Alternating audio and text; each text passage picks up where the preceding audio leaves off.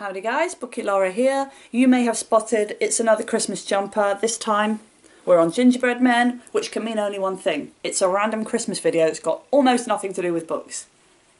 And in fact this actually has nothing to do with books at all. It's not even an almost nothing. So if you if you're not interested in videos that have nothing to do with uh, books then it's probably time to press skip. Apologies in advance.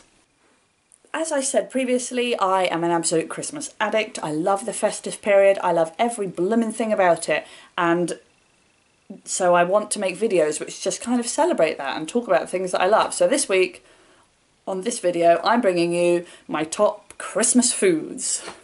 I am also, it's worth saying, a massive foodie. I do love food and I struggle on, in day-to-day -day life with not being able to eat all of it all the damn time.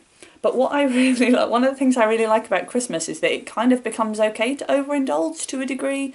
And there are a lot of foods that you perhaps wouldn't eat at any other time of the year, which you do eat a lot of at Christmas. In fact, there are lots of foods I eat at Christmas that I don't eat at any other time of year. And I love them, so maybe I should start.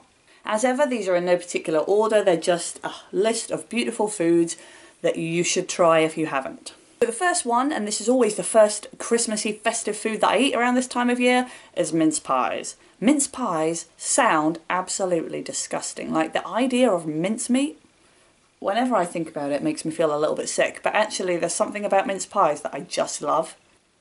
And they're always the first food which I eat around the Chris Christmas period because I always make sure that I buy or make some mince pies for when we put the decorations up. So it just, you know, it's there. It's right from the first second. A lovely, tasty mince pie. Hmm. Another food which I absolutely adore, and my son would argue with me all day about this one, is Brussels sprouts. I don't know what it is. I mean, I'm, I'm a big fan of veg. I do like my veg. Um, maybe that's an adult thing, I don't know. Um, but Brussels sprouts are just incredible. They are absolutely the devil in some ways. They can do things to your insides that should never be done but I love the taste of them. I'm also I'm also significantly scarred by the fact that I've I've always had experience of like quite overcooked Brussels sprouts, so I do love a good soggy Brussels sprout. And I don't know what that says about me, but I really really do. I don't eat them any other time of the year. They will give me belly pain, like no pain I will experience at any other point in the year, but I feel like it's worth it for Christmas dinner. Another food which I only eat at Christmas and I absolutely adore and is absolutely wonderful, but again is the devil, is Christmas pudding. Christmas pudding is just the most amazing thing in the world. All this fruit and just really, really rich food. I don't even know how to describe it. It's one of those foods that when you look at it, you think, I'm going to be able to eat a shed load of that. And then when you actually have like one spoonful, it makes you feel so bloated and so full because it's just so rich but I love it. Christmas pudding cream. I will eat Christmas pudding and cream till the cows come home. It's just absolutely beautiful, incredible food. Love it.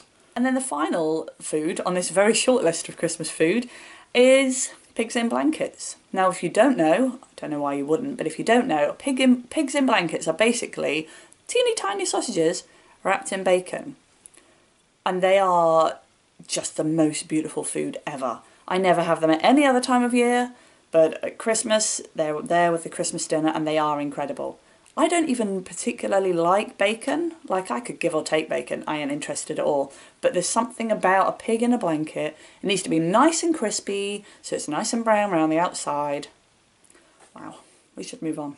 So those are just a very, very small collection of the foods which I absolutely adore and bring the festive period to life for me. Like, these foods are incredible.